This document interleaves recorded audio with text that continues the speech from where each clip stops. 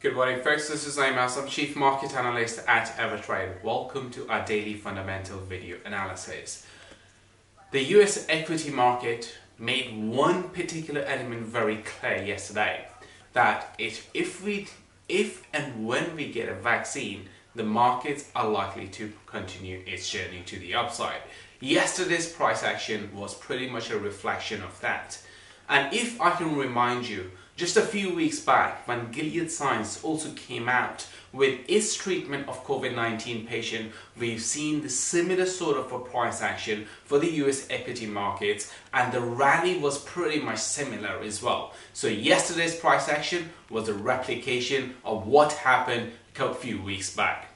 So what is the key takeaway? That is what we got to take from here.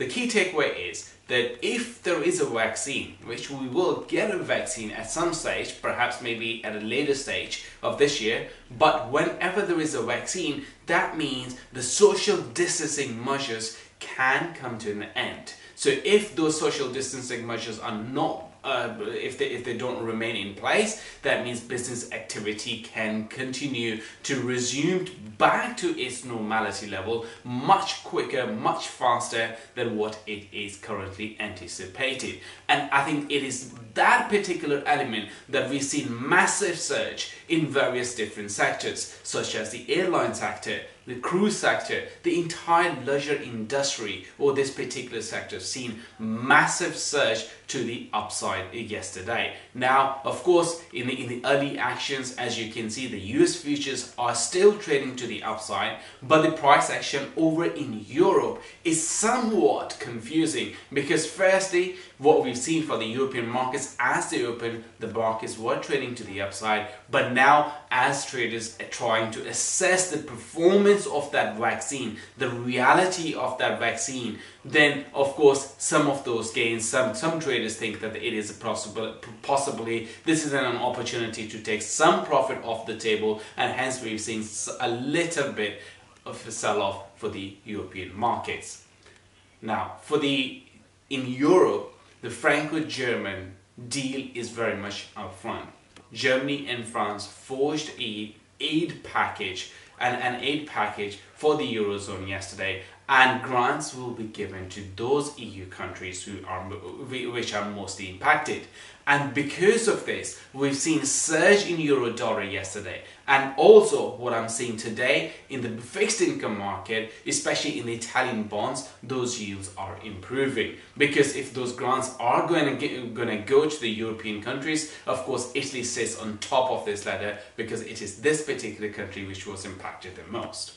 Now to finish off, in the commodity space, as you can see in chart, the uh, crude oil, the upward trend is very much still intact. Prices moved, prices for both Brent and crude oil moved more than 10% yesterday. And even today, both oil prices are up over 1%. So what does this mean? Have we reached the ceiling or why those price movements are really taking place? Well, the price movements are, have taken place primarily because investors believe on this particular headline when it came yesterday that the oil demand over in China has reached pretty much to its pre-crisis level. So obviously that means more demand coming into it. But when we start looking at the forward curve, the forward contracts, such as December contract for crude, it is still very much trading well below that $35 and definitely well, well below that $40 mark. So that raises a question if we have raised,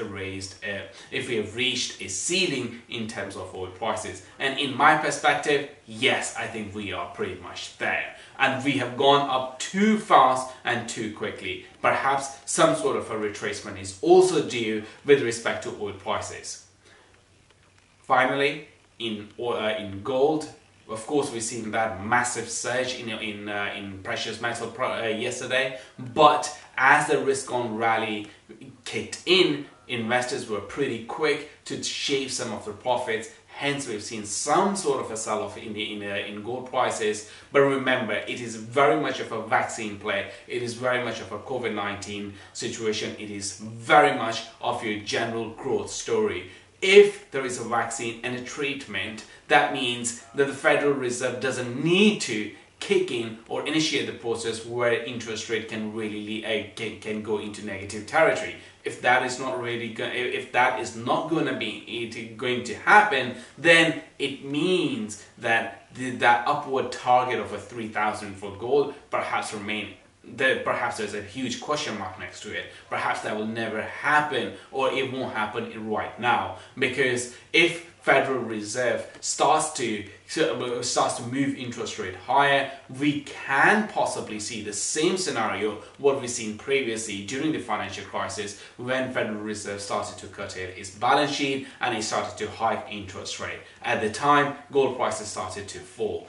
But it is still too soon to say that because this isn't really turning on or turning off a light switch. We are talking about a global economy which has been under a massive influence because of coronavirus. That's all for today. See you guys tomorrow.